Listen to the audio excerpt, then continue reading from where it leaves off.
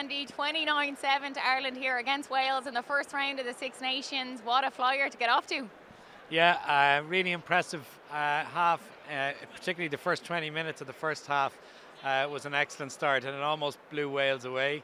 Um, four, four tries, three converted, one penalty from Sexton.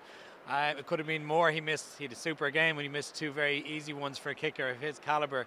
Um, but overall, um, Ireland extremely impressive. Wales obviously under strength, and those who played probably a little underwhelming. But I don't think they were allowed to play by that Irish side. So. Uh, well worth the win, and uh, yeah, extremely impressive carrying on from a very impressive autumn series too. Definitely, and it was Bundee Aki who got over for the first try. It was a pass from Mack Hansen on his debut. Yeah, very impressive uh, from Mack Hansen throughout the game.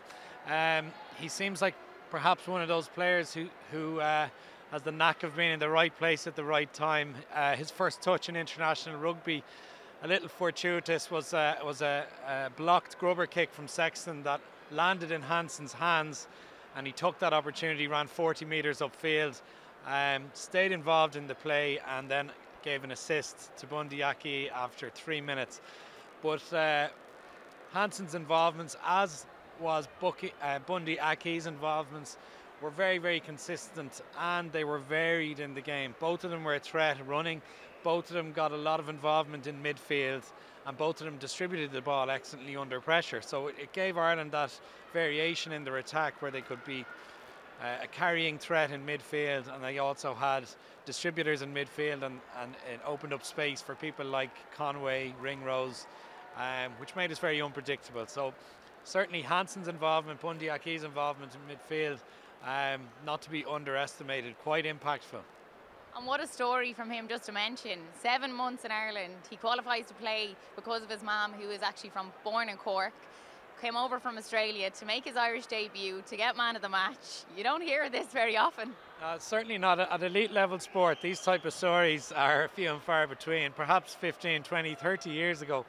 Um, what I gather, uh, Andy Friend, the manager of, of Connacht, his son, uh, was a drinking buddy of Mack Hansen back in Australia and had uh, observed him playing, shooting the lights out of club rugby, and encouraged his father to take a chance uh, on a guy who was well, not well known, um, even down in Australian circles. Um, and the story has built from there rapidly um, in a six, seven month period. He's, uh, it's a testament to Andy Farrell too. It's a brave selection. Um, he was initially seen as I suppose, a squad member and inclusion. Certainly by the media, he wasn't predicted to be a starter, but then get thrown in the deep end in the first and very important Six Nations game uh, shows that Farrell is obviously putting huge emphasis and value on how players are training. Uh, and it's become quite apparent in recent days that Hansen's shot the lights out in training too, and they're prepared to take that risk and give him a, a run. And I think he rewarded them in spades. Yeah, extremely impressive. And just to talk about Johnny Sexton, there was three missed or three penalties in that first half. There was two missed, and he converted one. Was it always the right option to go for it? Oh yeah, I think they're absolutely the right choices. Uh, I think Sexton had a superb game. Uh, again, this style of play that Ireland are, are using is is uh, arguably making him play some of his best rugby in an Irish shirt. Um, but I think he'd be the most uh, frustrated or annoyed man in the country with those two missed kicks, uh, kicker of his caliber. They weren't in any way influential on the game, um, and his, his, kicks from the touchline. Um, first one was outstanding, and he had two. Uh, two kind of fades on the right hand side in the second half that you tend not to see from a kicker showed huge skill so I don't think he'll lose any sleep over it he will be frustrated but yeah they were the right choice to opt for the penalties and we saw him on the ground, I think, twice. But the second time it was a reckless challenge from Josh Adams. He got a yellow for it. It was a harsh challenge, wasn't it? Yeah, it was. Uh, I mean, it was probably one inch, maybe less, half an inch away from a clear red card. Uh, Tomos Williams at nine had put in a speculative chip for uh, Adams to, to chase through. And as the oval ball can bounce any direction, it bounced right between uh, the, the path of, of Sexton and, and Adams on a collision course, you would have expected uh, Adams to try and go for the ball, but he, he ignored it by nearly a metre and full on shoulder charts uh, Sexton half an inch below the chin. It looked like a whiplash effect even for Sexton. Uh, the whole crowd here delighted to see him get up and play on from that, and, and he didn't look too worse for wear. Um, but Adams, it was it was quite reckless, cynical, and very very lucky to stay on the field. And Johnny let him know. He went straight up to him after just to tell him, you know, that was reckless. Yeah, and I think it was one of those ones when you watched it back on replay, it got worse and worse. Um, different angles, you know, it was uh, people were curling toes here in the stadium looking at it for fear, obviously, of some damage to Sexton. But uh, yeah, you know, you'd be well within your your uh, rights to be uh, nonplussed by a challenge like that, and, and the likes of Sexton has that fire in him. Yeah, so uh, choice words, no doubt. And Andrew Conway, he got over for two tries. He was impressive today. Yeah, uh, I think Conway was, was really a recipient of very good play inside him. Uh, nonetheless, his first try was an incredible finish. Uh, Ireland had been so creative in midfield, had held possession, always looked at threat, always looked for space. Um, and then Sexton unleashed this kind of wide, loopy ball. Um, Conway had to come in and almost slide, catch it on one knee, with the cover defence, he had to get off his feet, get off his knees, and uh, with three or four tacklers around him, managed to just about reach out and get the ball down. But as, as finishes go for a right winger in international rugby was superb. Uh, second try, easiest try he's probably ever going to score. He literally just had to catch it and touch it down, but the first one was superb. And just to speak about Wales, it's not the Wales that we're used to facing, I didn't think anyway. Um, I suppose they are, you know, suffering a lot of injuries, but it, it, was very tough for them today. They got they got a try in the end, uh, came near the end, but uh, it, it, was a lapse in concentration. Really, it was lucky enough to get it. Yeah, I mean it's it's a Welsh team that's missing seven, you know, highly influential players, some of the greatest players the game's seen, and the likes of Alun Wyn Jones with 160 odd caps. I think 700 caps amassed between those players missing for Wales, um, and without doubt that's had an impact on them.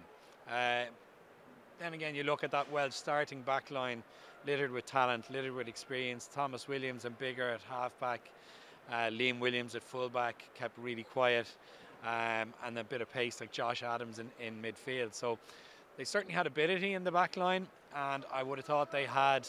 Uh, a pack that, while not being as, as well known, were hopeful to be more competitive. But they, that pack were crushed by the Irish pack in the first 20, 30 minutes. And that was ultimately the, the decider in the game. I think the Welsh will come away um, bruised, battered, but I don't think they're as poor a side as they looked. I think it was more Irish quality play, particularly up front in that first 30.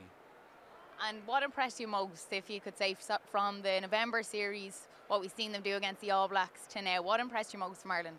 Uh, so many things. I mean, if you look at, I can see you can see Paul O'Connell in that team in terms of the, the accuracy in the line out had 100% line out success in a Six Nations International's top drawer. Yeah. You can see John Fogarty and how well we're scrummaging, very, very stable. You can see Mike Catt in the creativity in midfield. You can see wingers like Hansen and a centre like Bundee Aki being used in, in a very, very different way, not always as the battering ram. You can see Simon Easterby in their defence. You, you, know, so what, what impresses me is that from all sides of their game, they're performing at a very high level. Um, and then in particular, if we were to focus on attack, this, this use of, um, I suppose, a triangle, for want of a better word, we're seeing very, very often two or three Irish forwards catching the ball near to the breakdown and having two or three options invariably choosing the right one. Sometimes they're hitting the first runner, sometimes they're hitting the second runner, sometimes they're hitting a guy out the back, sometimes they're going themselves when they catch it. And it makes it's done so well to such a high degree of accuracy under pressure that it makes us very hard to defend. I don't think it's a case of of poor defence from Wales. I think it's it's really high quality attack from Ireland and all in all, I mean variation across the game, input from different expertise. Um, you know, a very healthy injury profile at the moment. But but that play and attack, that kind of triangle formation and attack that we've used so well such great effect, um, has been one of the most impressive parts. We've seen uh, in the likes of Phil Jackson, legendary coaches, using a triangle system in attack where you've got three, six, nine options at a time. We've seen Johan Cruyff do it with football teams, triangles in attack. Now we're seeing it being used to great effect in a rugby setting, and it's really refreshing really creative um, and overall hope difficult to mark as well and difficult to predict. So it doesn't mean we're going to be closed down too easily in the next few games. Yeah, I think Ireland is really finding its style, and that's very evident out there today. Garry Ringrose got in for Ireland's fourth try. Um, I thought it was the best try of the day. Don't know what you thought, Andy. Yeah, uh, really exciting. Again, it was. Um, it came from, from Mack Hansen and uh, Bundee Aki getting the ball in midfield. Um, certainly Hansen getting involved coming off his wing. It's always really good to see wingers coming in into midfield. They, they provide an extra man and an overlap, but then also the ability to catch and pass under pressure with a, with a rush tackler coming at you.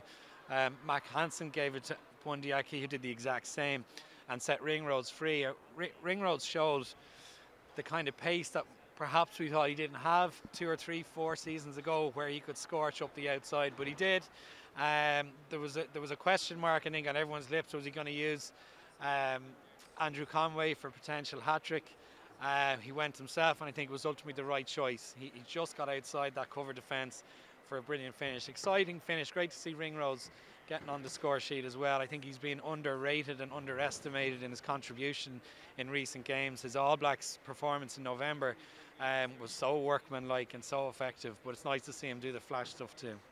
And on the Irish bench, it was great to see so many come on. We've seen Peter O'Mahony, James Hume, Dan Sheehan. Brilliant to see all them getting a run because it really pushes on to have a lot of options going into this France game. Absolutely, and again, uh, I think O'Mahony has a, a, new lease of life in this squad as an impact player. Um, he's come on and, and um, consistently been been uh, a thorn in the side of oppositions with 15, 20 to go. He's a great line-out option. He's very, very uh, competitive for ball on the ground. Um, and that 15, 20 minute period, that experience coming in, it's added huge value to the Irish team every time he's come off the bench. Really exciting to see James Hume get a chance in an Irish jersey. He's he's been very impressive in Ulster. He's he's not your typical modern day centre. He looks like a, a slightly more slight footballing type of centre, which again falls into the, the positives that we're seeing in this Irish attack.